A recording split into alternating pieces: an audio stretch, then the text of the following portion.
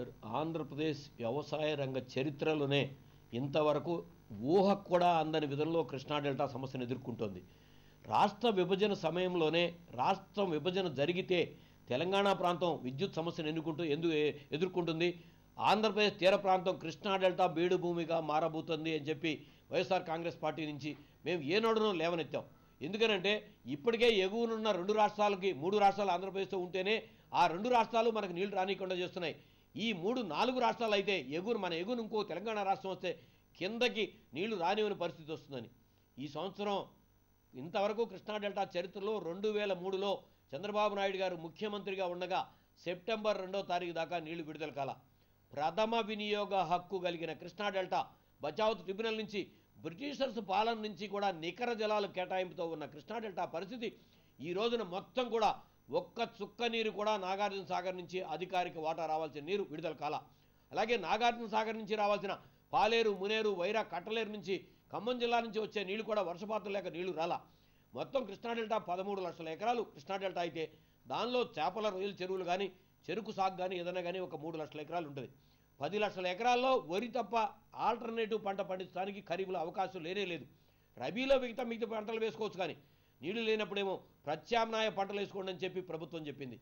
ఏ మాత్రం ఆలోచన కలిగిన వ్యక్తికి ఎవరికి కూడా డెల్టా కృష్ణా డెల్టాలో ఖరీఫ్లో రెండో ప్రత్యామ్నాయ పంట వేయటం సాధ్యం కాదనే విషయం కూడా అవగాహన లేకుండా వ్యవసాయ శాఖ మంత్రులు వ్యవసాయ శాఖ మాట్లాడుతున్నారు.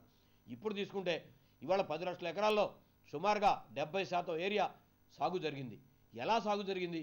వర్షానికి అలాగే భూగర్భ జలాలు బోర్వెల్ నుంచి ఏమాత్రం పంట కాలువకి మురుగు కాలువకి పక్కన ఉన్న పొలాల నుంచి ఆయిల్ ఇంజిన్లు పెట్టి ఎంతో శ్రమకొచ్చి ఎకరానికి ఇరవై నుంచి పాతిక వేల రూపాయలు ఖర్చు పెట్టి కౌలు రైతులు మొత్తం కూడా సాగు చేశారు.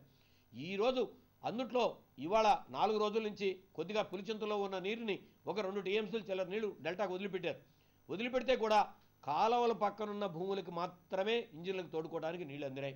ఇవాళ వెస్ట్రన్ డెల్టా మొత్తం ఎండిపోతుంది. ఇవాళ తెనాలి కాన్స్టెన్సీ కాన్స్టెన్సీ దగ్గర నుంచి వెస్ట్రన్ డెల్టాలో ఉన్న అన్ని నియోజకవర్గాల్లోనూ భూములు ఎండిపోతున్నాయి. అలాగే తూర్పు కృష్ణా డెల్టాలో ఇవాళ అలా ఆల్రెడీ వెస్ట్ గోదావరిలో ఉన్న లక్ష ఎకరాలకి ఇవాళకి పొలం ఎండిపోతుంది.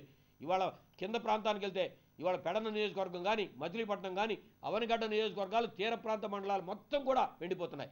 అలాగే పై ప్రాంతంలో కూడా ఈవెన్ గన్నవరం నియోజకవర్గంలో అలాగే పామరు నియోజకవర్గంలో కాలువలు పక్కనున్న భూములకు మాత్రమే ఇప్పుడు వదిలి నీళ్ళలో నుంచి ఇంజిన్లు పెట్టి సాగు చేసుకుంటే అందినాయి. ఇంత సంక్షోభం ఉంటే ఈ డెబ్బై శాతంలో సుమారుగా ముప్పై ఐదు నుంచి నలభై శాతానికి ఇప్పుడు నీళ్ళు పడినాయి. ముప్పై శాతం పైగా పొలం మొత్తం ఎండిపోతుంది. ఈ నీళ్ళు పడిన ప్రా- పొలం కూడా దక్కుందంటానికి లేదు. ఇవాళ ఎందుకనంటే ఆల్రెడీ నైరుతి ఋతుపవనాలు అయిపోయినాయి. ఇక ఈశాన్య ఋతుపవనాలలో కృష్ణా డెల్టాకి పెద్దగా ఈశాన్య ఋతుపవనాల నుంచి ఎప్పుడు కూడా వర్షపాతం ఉండదు.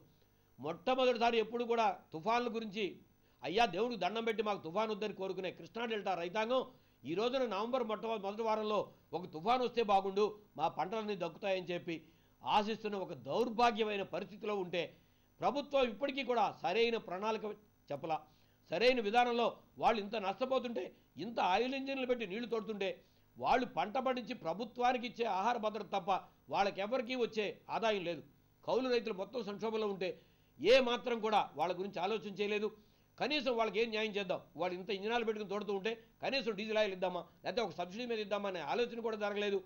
మిగిలిన పంటకి ఒక్కళ్ళు కూడా సమాధానం చెప్పట్లా. దీనికి నేను అడుగుతుంది ఈ పంట ముఖ్యమంత్రి గారు తన నోటితో స్వయంగా ఆగస్టు పదిహేనో తారీఖు నుంచి పట్టసీమ నీళ్ళు ఇస్తున్నాం. మీ కృష్ణా డెల్టా మొత్తాన్ని సస్యశ్యామలం చేస్తాం. పెన్నా డెల్టా సస్యశ్యామలం చేస్తాం. రాయలసీమ మొత్తాన్ని సస్యశ్యామలం చేస్తామని బాధ్యత కలిగిన వ్యక్తి చెప్పడం మూలంగానే వర్షాన్ని చూసి ఈ ప్రాంతం మొత్తం కూడా నీరేశారు. అంటే అధికారికంగా నికర జలాల కేటాయింపు కలిగిన కృష్ణా డెల్టా ఈరోజు వర్షం మీద ఆధారపడిన మెట్ట ప్రాంతానికి మళ్ళీ ఒక అనంతపురం జిల్లాకు మళ్ళీ మారిపోయింది. అయినప్పటికీ వాళ్ళ లక్షలాది ఎకరాలు చనిపోతుంటే ఇవాళ నాగార్జున సాగర్లో డెడ్ స్టోరేజ్లో ఉన్న నీటి విషయంలో కానీ లేకపోతే ఇవాళ మీరు చెప్తుంది మేము బిగిచ్చేసాం పట్టసీమ మొత్తం పూర్తి చేసామని జగన్మోహన్ రెడ్డి గారు దీక్ష కూర్చున్న రోజున కూడా మీరు మొత్తం కేబినెట్ మంత్రులు పట్టసీమ నీళ్ళు కృష్ణా డెల్టాకి ఇచ్చేసామని చెప్పారు.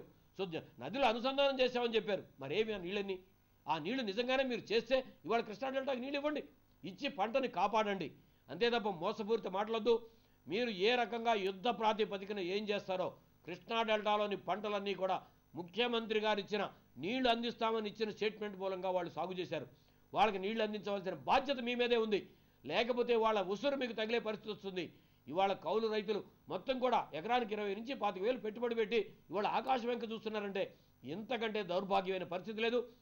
తక్షణం మీరు ప్రత్యామ్నాయ ప్రణాళికను ప్రకటించి వాళ్ళని ఆదుకోమని చెప్పి